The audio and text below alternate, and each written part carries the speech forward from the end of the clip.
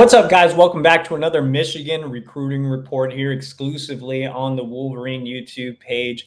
Make sure to like this video and subscribe to our YouTube channel for free. Get notifications every time we drop a new video. And liking us helps us get in front of other Michigan fans so we can continue to grow the community. Also, subscribe to the Wolverine.com for just $1 for two months using the promo code UM1. That's $1 for two months using the promo code UM1 for even more insider recruiting information.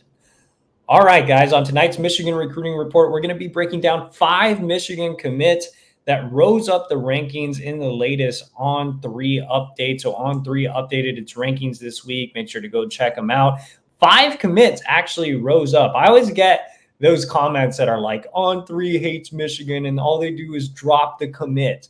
Well, this time they bumped up the commits, five of them, six of them actually, but we'll talk about five of them here. And we'll start off with quarterback commit Carter Smith. So, Carter Smith is one of the most fascinating quarterback prospects in the entire country, the reigning Gatorade Player of the Year in the talented hotbed state of Florida. Carter moved up 14 spots back into the top 200 where he belongs.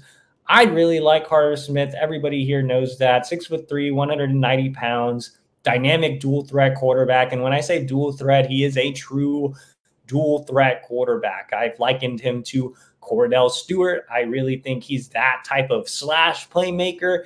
Um, if Carter really wanted to, I think he could play wide receiver. I think he could play safety. I think he could play whatever you want him to play because he's that type of elite athlete. Uh, remember, Carter started off as a baseball player. His father played in the minors, and he's really developed well as a passer over the last year. I think he's making strides this offseason working with private quarterback coaches. I thought he had a good showing at the Elite 11 Orlando Regional and was absolutely snubbed for the finals. That was terrible. Uh, he was the best quarterback there. They actually invited no quarterbacks from that regional. But anyway, not to go off on a tangent, I think Carter Smith is um, still obviously one of the best quarterbacks in the country. I was very pleased to see this bump. And I think with Carter, he has a chance to rise even more in the rankings if he if, if the offseason works tra- if the offseason work translates to the field on Friday nights this year. If Carter, we already know Carter can run and pick up a ton of yards with his feet but if he shows the ability to stand in the pocket and deliver and really shows in those improved mechanics and the improved lower body mechanics, there's a chance that Carter could move all the way, you know, into the top 125, into the top 100. Like there's so much ceiling for Carter Smith's ranking. And you know, moving up 14 spots. He didn't really even do a whole lot publicly this offseason. Most of his work has been done in the shadows with Brock Purdy's quarterback trainer. He's currently working with Gardner Minshew's quarterback trainer. So, again, I think the ranking ceiling for Carter Smith is pretty unlimited based on what he does as a senior this year as a pure passer. We know he's going to tear it up. He was the Gatorade Player of the Year for a reason, but we really want to see what he does as a pure passer. All right, next up on the list is running back Jasper Parker out of Louisiana. So Jasper Parker started off as a three-star prospect, now all the way inside the top 200, ranked as the number 185 overall prospect nationally. Jasper Parker is not rated inside the top 300 anywhere else. So on three, kind of getting ahead of the game with him. The thing about Jasper Parker is I don't think a lot of people have had a chance to really see him. He was a little bit of a late riser on the recruiting trail, or kind of a late bloomer is a better word for that. But I think he's a, a really athletic running back, really physical between the tackles, but a guy that you can – do a lot with. He can catch passes out of the backfield. He can be a three down back. Um, I think Parker has a chance to continue to rise up the rankings, especially on other services that are still undervaluing him with a really strong senior season and, and getting more eyes on him. I think with On Three, they did more of a reevaluation of his tape and took a little bit more of a deep dive and, and saw what Parker brought to the table. And, you know, Tony Alford, Michigan's new running backs coach, historically has, has done a great job of evaluating talent. And I think he saw something in Parker and, and really made him a priority. Remember, Michigan was considered the leader for Iverson Howard early in the cycle, and Alford passed on him to really push on Jasper Parker. So, you know, he's a guy that, again, I think will keep moving up the rankings on other services as well.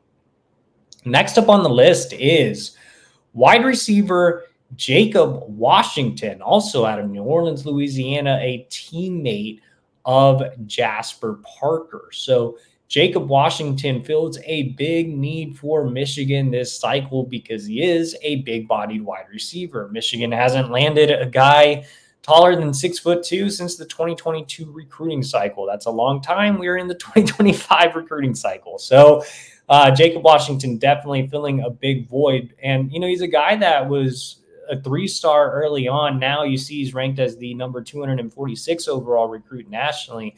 He's a guy with really, you know, good testing numbers. He participated in one of the Under Armour camps this offseason and posted some really good times.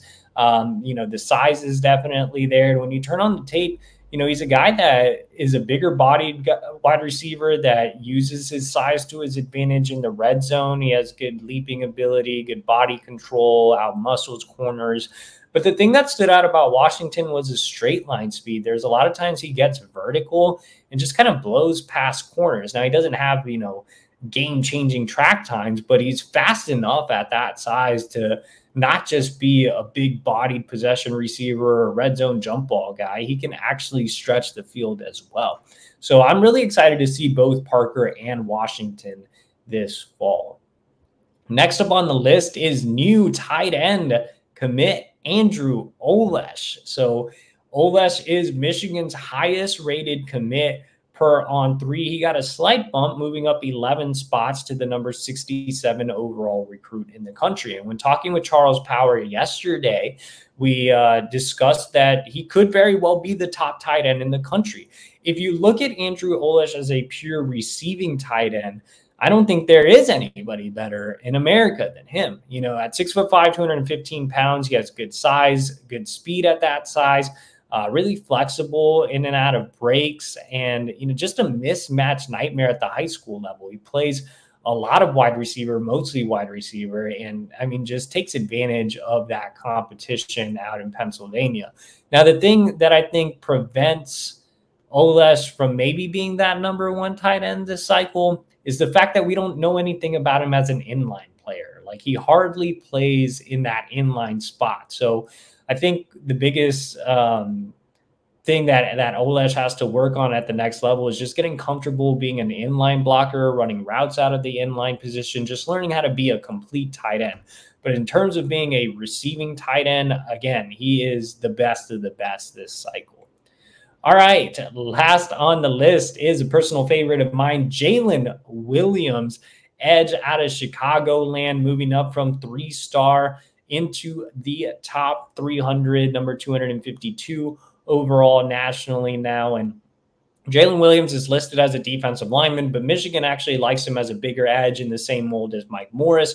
Six foot five and a half, 255 pounds, great frame to add more weight. I think he'll play uh, at 280, 290 pretty easily. Uh, has really good length. You know, he stands up for his high school team and looks great coming off the edge. I had a chance to see him play last fall, and he really moved the needle for me. I've been banging the Jalen Williams drum for like a year now, and I was really, really excited to see him get the rankings bump. So he's a, a four star, you know, top 300 guy on three of the four services. The only service still sleeping on him there is ESPN, but I think people have kind of realized the talent that Jalen Williams has. I still feel like he's one of the more undervalued guys this cycle. There's a lot to like about Jalen Williams. So he's the last guy on the list. So again, Michigan commits getting moved up in the rankings. For more coverage on the rankings and everything Michigan recruiting, head to thewolverine.com.